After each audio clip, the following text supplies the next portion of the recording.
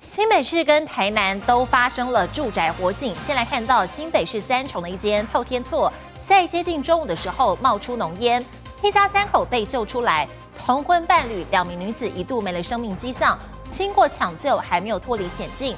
而另外在台南市南区也有住宅大火直窜，现场有五个人受困，紧急灌救，但不幸的是，一名六十九岁妇人被发现倒卧在电梯间，明显死亡。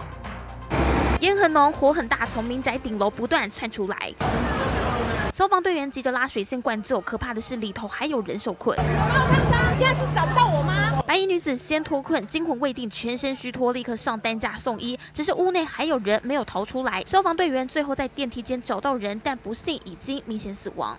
家属听闻消息，实在崩溃，难以接受。一号上午十一点多，台南市南区这栋民宅惊传大火，无人受困，其中两人冒险逃了出来，但有一男一女还困在四楼。云梯车及时抢救，两人轻微呛伤送医。不过最后搜索在六楼电梯间，发现六十九岁陈姓妇人已经死亡。逐层去搜索，最后再六楼的电梯间那边，当时火势猛烈，隔壁邻居担心被波及，赶紧跑到顶楼洒水降温。而起火点疑似就在这栋四楼卧室，无情恶火夺走一条性命。同样，新北市三重也发生意外，巷弄内透天厝烧起来，黑烟弥漫。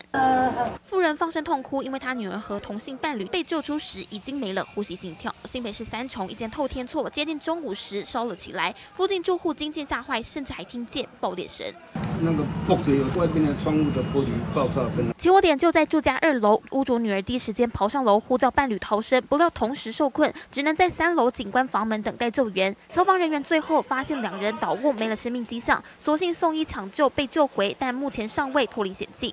据了解，两名女子结为伴侣，在住家楼下开小餐馆做生意，不料公休日竟然碰上火警意外，差点没了命。谢综合报道。